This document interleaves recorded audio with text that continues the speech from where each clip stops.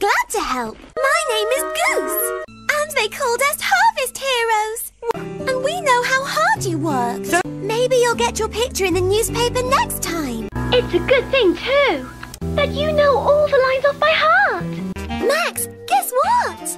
It's Christmas Eve. And you know who's coming, don't you? Santa Claus is coming, that's who.